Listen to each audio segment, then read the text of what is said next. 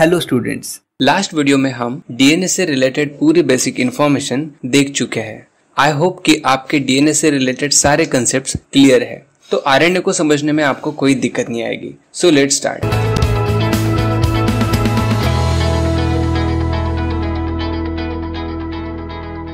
RNA is second important type of nucleic acid in cell ये DNA की तरह ही होता है but much shorter than DNA DNA contents two strands RNA के अंदर सिंगल स्ट्रैंड होती है। Both DNA and RNA contents sugar molecule but DNA के अंदर होती है डीऑक्सीराइबोज शुगर और आरएनए में होती है ribose sugar deoxyribose is replaced by ribose sugar nitrogenous bases in DNA are adenine guanine cytosine and thymine but RNA thymine की जगह यूरासिल को यूज़ करता है।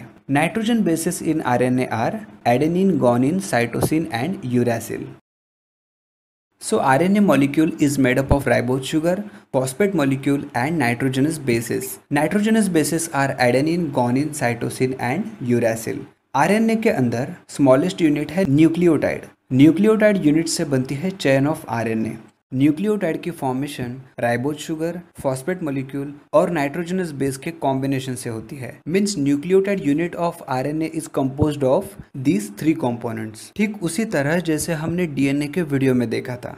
आरएनए के तीन टाइप्स होते हैं, जिनके अलग अलग फ़ंक्शंस है। Number one ribosomal RNA means R R N A number two messenger R N A means M R N A number three is transfer R N A means T R N A this all three types of RNA तीनों के नाम meaningful है। Name itself is giving their identities ribosomal R N A is component of ribosome messenger R N A information carry करता है और transfer R N ए का काम है एमिनो एसिड्स को कैरी करना।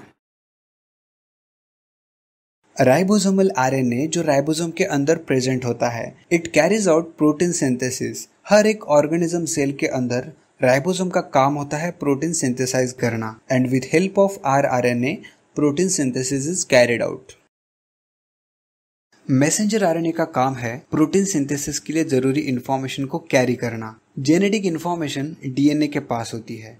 डीएनए की लोकेशन सेल के न्यूक्लियस में होती है और प्रोटीन सिंथेसिस का काम हो रहा है राइबोसोम के अंदर, जो साइटोप्लाज्म में है। तो प्रोटीन्स को सिंथेसाइज करने के लिए जेनेटिक इंफॉर्मेशन को डीएनए से आना होगा राइबोसोम के पास और यह रोल प्ले करता है हमारा M R N A means messenger R N A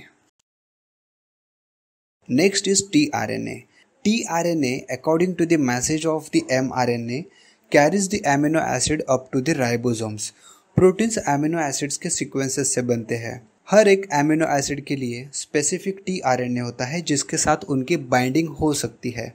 इस तरह से टी आर एमिनो एसिड्स को प्रोटीन सिंथेसिस के लिए ट्रांसफ़र करने का काम करते हैं।